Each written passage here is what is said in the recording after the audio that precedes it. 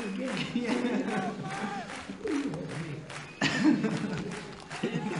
okay, roll the camera. Can you go ahead? I will. Uh, I'm sorry, this will be some repetition, but um, you have over the year changed changed direction of jazz several times. Uh, do you feel there's still a pressure on you to do it again once more with the new instruments and things? Oh, I don't know. They look, yeah, they ask me, what is the next direction in jazz? But I don't know. You know, they look to someone else. You know. To whom? I don't know. Herbie's got his. Herbie Hancock was scratching records and stuff. We don't like that though, so much. But some, some, some will come out. Uh, when I you think shorter melodies. You know, maybe two bar phrases that you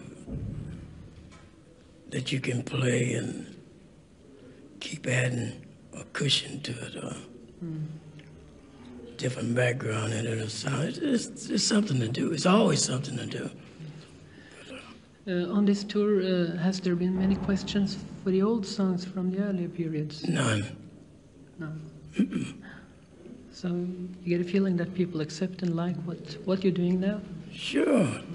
You know, they they they like I think they like music to change like change like they change their you know, suits and dress, you know.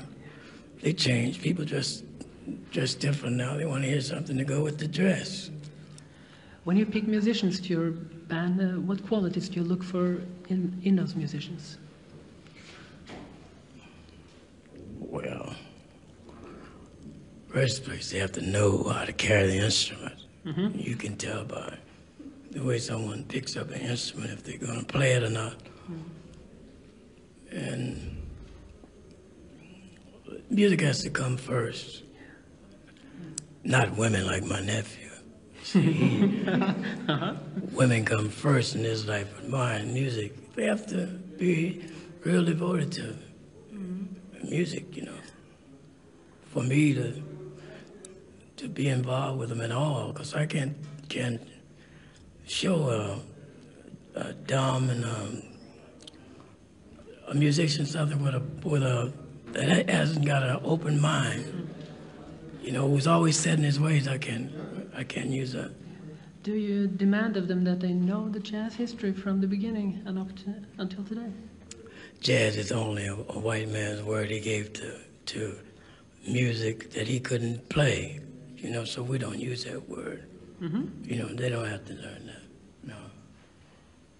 You know, real prejudiced white people, they do that. We don't. We study. Mm-hmm. You know, we go to school now. Mm. They have to know something about the synthesizers and, and forms of music. You know, so it won't be strange when they hear different forms. Mm-hmm. But um, as far as the history of jazz, you know, that's that's like Abraham Lincoln's laws, which are nothing. Mm-hmm. You know, you make little new laws. You, you know, you learn new music. You know, you don't go back. Anybody can copy. Yeah. But if you get one of the youngsters who's a tremendous player on a synthesizer but knows nothing about Louis Armstrong, Charlie Parker, Dizzy Gillespie, your earlier music, No, doesn't matter? they have to take what they hear now. Mm-hmm. The lazy ones play like we used to play. Because nothing, they don't have anything, you know, up here. You know, there- it- there's too many records for them to be original. You know, you have to be very selfish to be original. You, you can't listen to everybody's record. You know, because they don't they don't know anything but what they heard on the record. You know, I mean, in school they teach you what we used to do. You have to know what you want to do. You know, schools are. You have to study what you want to study in the school. All of them teach the same thing, but you have to. You have to say, I want to. I want to study this. I want my tone to be round. I want to have a lot of technique. That's what you learn in school. But out here, you just take the cliches that are in the air now, not, you know, 30 years ago. I would look funny playing like Louis Armstrong now, wouldn't I? Well, sure, but uh, still, I would imagine you had to. But I don't have the right clothes, right? You have the. Yeah, just. Think I could play like Louis in this? Okay. Oh, just one more, Mas. What about the future? What can we expect in the future? Are there any new recordings? Uh, Sure, next year we'll, we'll play something on a record. and you'll come here. We'll make a record.